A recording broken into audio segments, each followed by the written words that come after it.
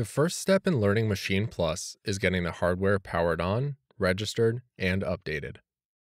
Hold down the power button for a couple of seconds and then let go after you see the light up animation. Press Next on the welcome screen. You'll need to connect to a Wi Fi network in order to activate and register the hardware.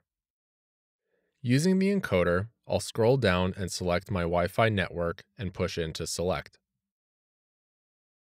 Enter your Wi Fi password using the encoder. You can scroll left or right and click up and down to go to different rows. Once you're done, press Enter.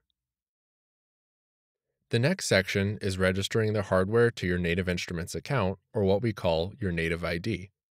If you don't have a Native ID, you can create one for free at nativeinstruments.com. Using your phone's camera, scan the QR code on the right and open the link. Check to make sure that the code on the hardware matches the code that you see on your phone and click Confirm. Enter the email and password for your native ID and click Login.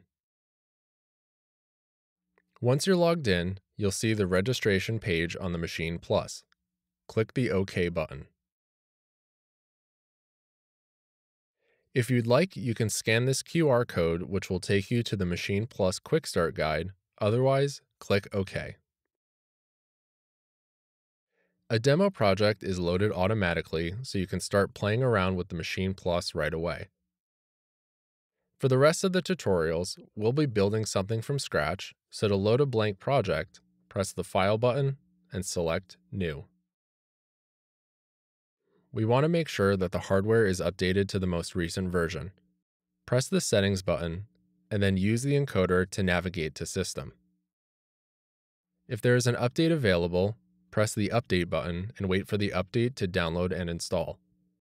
The hardware will automatically restart itself to make sure that the update was installed properly. Now that the hardware is registered, let's install some instruments, effects, and expansions.